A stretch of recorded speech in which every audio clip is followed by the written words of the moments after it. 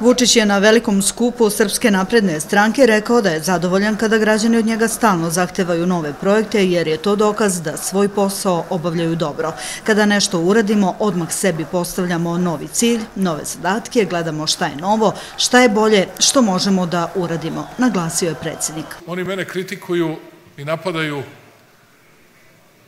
kad vi to preračunate, te njihove sekunde, minute, sate i dane, Oni su stotine miliona evra potrošili u borbi protiv jednog čoveka. Ja vas samo molim, nije to pitanje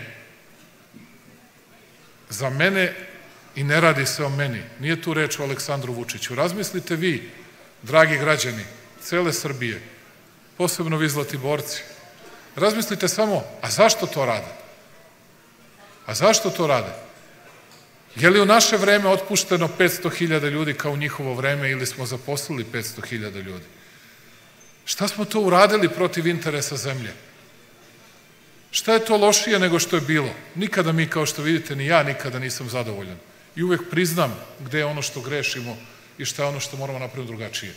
Ali šta je to što je lošije?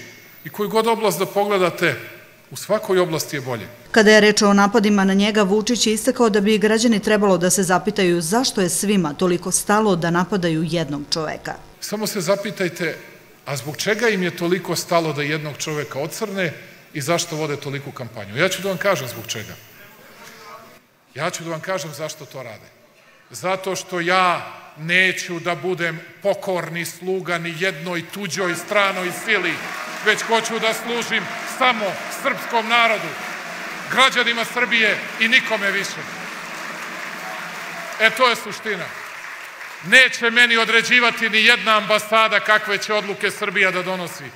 Neće mene da privode na kanabe da im kažu e, morate sutra da donosite ovu odluku. Preko sutra da uvodite sankcije toj i toj zemlji. Nećete vi o tome da odlučujete, o tome odlučuje naš narod.